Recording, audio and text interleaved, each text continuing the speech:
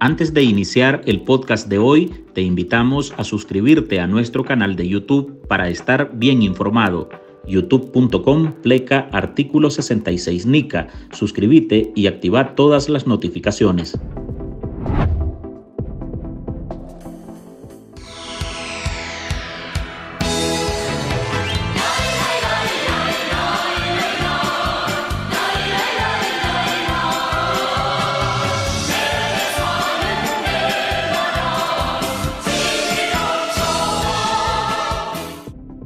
En el otro extremo del globo terráqueo, Corea del Norte se prepara para las próximas elecciones parlamentarias, a celebrarse en marzo de 2024, bajo declaraciones de guerra contra Estados Unidos, Corea del Sur y Japón, hechas por el dictador comunista Kim Jong-un. Todo Estados Unidos está dentro del alcance de nuestras armas nucleares y el botón nuclear está siempre en mi escritorio. Esta es la realidad, no una amenaza. El político norcoreano declaró que no tiene ninguna intención de empezar una guerra, pero tampoco de evitarla. Sin embargo, Kim aseguró que ya no reconoce la frontera marítima de facto entre ambas Coreas y que su ejército realizó por varios días maniobras con fuego de artillería real en la zona.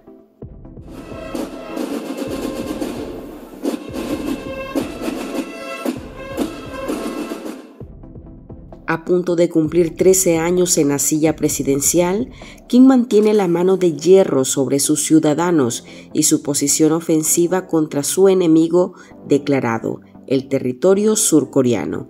Mientras tanto, el dirigente comunista se encargó de fortalecer lazos con Rusia, la República Popular China y Nicaragua, formando así un club de regímenes sangrientos, violentos y corruptos. Estuvimos reunidos con el embajador o representante del hermano Kim Jong-un, que nos mandó un hermoso mensaje también, y asumimos el compromiso de abrir embajadas. Incluso estamos entregando ya la solicitud de placer para una persona que será embajador residente y en ese marco, lo que preocupa a la oposición nicaragüense es que Daniel Ortega adopte las prácticas represivas de su homólogo norcoreano, que es conocido por tener a su pueblo bajo un estricto control social.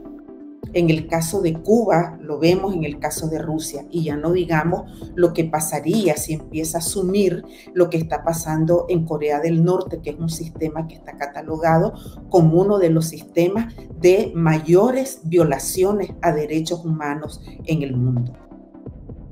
Hola, soy Marlene Balmaceda y hoy en el podcast ahora de Artículo 66 le presentamos Ortega busca convertir a Nicaragua en una Corea del Norte tropicalizada. De acuerdo con la opinión de los expertos que participaron en esta edición, el régimen nicaragüense podría seguir el modelo de Kim y endurecer aún más su brazo represivo contra la población.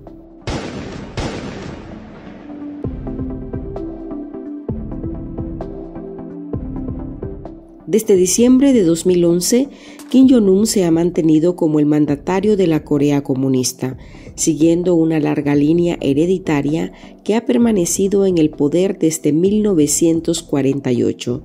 A diferencia de Nicaragua y otros países, en ese territorio asiático el voto no es un derecho, sino una obligación lo que brinda otra ventaja para que la dinastía de los Kim siga al frente de ese país a cualquier costo.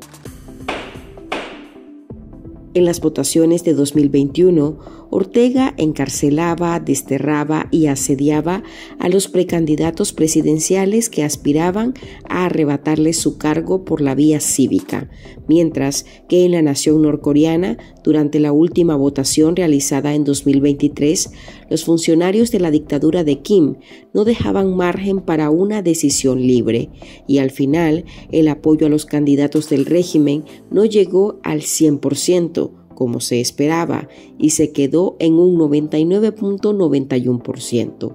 Quienes no participan están en peligro. El ojo del régimen estará sobre ellos.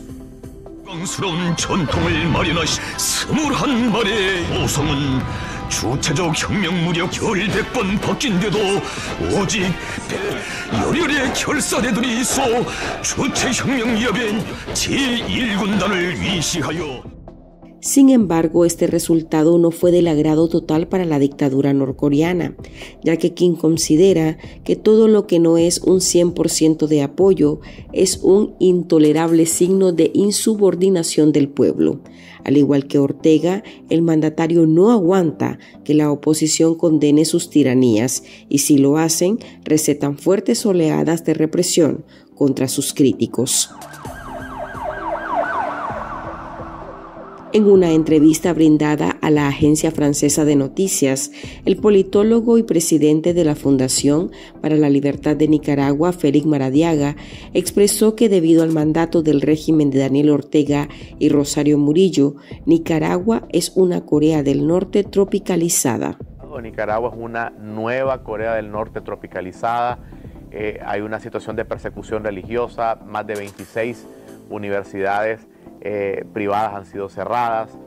Para ninguna persona que ame su país eh, puede, decir que la libertad es estar desterrado. Es decir, el destierro no es, no es libertad. Y todos los días yo me despierto eh, tratando de, de pensar en las miles de razones por las cuales vale la pena luchar. Y la más importante es por los proyectos de vida de miles de nicaragüenses, de millones de nicaragüenses que están dentro del país, que sueñan en un país mejor, que viven en una gran cárcel, que no pueden hablar y yo hoy tengo la oportunidad de hablar por esos que no tienen voz. Por otro lado, Julio Ricardo Hernández, directivo de la agrupación política Unión Democrática Renovadora, considera que el apoyo entre Corea del Norte es unilateral y que la posible alianza entre ambas naciones no significa una amenaza militar para ningún país, solo es una estrategia de Ortega para demostrar que tiene de su lado al más bravucón del barrio. En realidad nosotros no, sabemos muy bien el estado de las relaciones reales entre Nicaragua y Corea. Ortega menciona mucho a Corea. Ortega se alinea con las vociferantes amenazas de Corea. Yo no he escuchado realmente en los noticieros internacionales que Corea haga referencia a Ortega. En este sentido, eh, el para qué eh, se alía Ortega con una figura tan conservadora y amenazante y tan aislada en la comunidad internacional como Corea, es más bien para una utilidad en su discurso, pero sin ningún efecto en lo hecho, hasta donde yo puedo ver y prever en este momento. ¿Por qué le es útil a Ortega en su discurso referirse a Ortega como si fuera un aliado de él? Bueno, porque Ortega está tratando de llevar al extremo su apuesta elevar la parada, como nosotros decimos, alineándose mentalmente nada más, en su ideológicamente nada más, con la parte o con la nación más vociferante y más amenazante contra los Estados Unidos que hay en el mundo. Porque ni China ni Rusia tienen el discurso tan agresivo que tiene Corea del Norte. De igual manera, el abogado nicaragüense Juan Diego Barberena indica que aunque ambos regímenes tienen grandes diferencias, Ortega intenta replicar las tendencias represivas del dictador norcoreano. Eh, ahora, pues hay, grandes diferencias entre el régimen norcoreano y el régimen orteguista, porque, porque eh, Ortega ha tratado de simular a, a Kim Jong-un ¿verdad? En, cuanto al sistema de partido único, la persecución ilegítima a la disidencia, el destierro, eh, la represión absoluta, etcétera, ¿no? Sin embargo, Nicaragua está en, digamos, está ubicada geográficamente en el mundo occidental, ¿verdad? En donde tendencialmente todas las relaciones internacionales tienen efectos recíprocos. Eso no pasa, digamos, en el ámbito propiamente de, de, Corea del Norte, ¿no? Sin embargo, tiene unas similitudes en la forma de detentación y ejercicio del poder político, de rasgos eminentemente totalitarios, ¿no? Los opositores creen que para evitar que Ortega siga con estas acciones represivas debe haber una confluencia entre la capacidad de resistencia local y un cambio geopolítico significativo que debilite a la dictadura nicaragüense. En breve hablamos sobre la posibilidad de un acuerdo comercial entre Corea del Norte y Nicaragua. ¿Qué impacto tendría un TLC entre ambas dictaduras? Te respondemos esta pregunta al regresar. En artículo 66, un equipo de periodistas hemos asumido el desafío de seguir informando sobre Nicaragua pese a la persecución, las amenazas, el exilio y el bloqueo impuesto contra la prensa libre Mantener esta trinchera en defensa de las libertades públicas de todos los nicaragüenses es un compromiso que hemos asumido porque Nicaragua nos necesita. El desafío de financiar el periodismo que hacemos sigue vigente y siempre podés ayudarnos con una donación para garantizar la sostenibilidad de nuestra cobertura noticiosa, de las investigaciones que realizamos o la producción de este podcast. Tu contribución ayuda a mantener viva la llama de la libertad. No nos dejes solos. Unite a nuestro programa en artículo66.com pleca donar y contribuí con lo que te sea posible. Toda ayuda, sin importar el monto, es infinitamente vital para nosotros. Recordá artículo66.com pleca donar. Muchas gracias. Tanto Nicaragua como Corea del Norte son naciones que han perfeccionado el arte de la autarquía y el aislamiento. En territorio asiático, el telón de acero se ha mantenido cerrado, con un comercio exterior limitado y sanciones que desafían las leyes de la gravedad económica. Nicaragua, por su parte, ha experimentado su propio acto de malabares, desafiando también la gravedad política con confrontaciones internacionales y sanciones por parte de Estados Unidos y la Unión Europea, que mantienen en vilo su economía. Las nuevas sanciones reveladas por el Departamento de Estado restringen también las inversiones en algunos sectores de la economía nicaragüense bajo el argumento de evitar que Estados Unidos contribuya a las arcas de un régimen, dice el Departamento de Estado, corrupto. Los dos regímenes comparten economías altamente centralizadas, donde el Estado ejerce un control significativo sobre la producción y distribución de bienes y servicios. En Corea del Norte, este control es total, con el Estado planificando y asignando recursos de manera centralizada, mientras que en Nicaragua, el gobierno de Ortega y Murillo ejerce un fuerte control sobre sectores clave de la economía.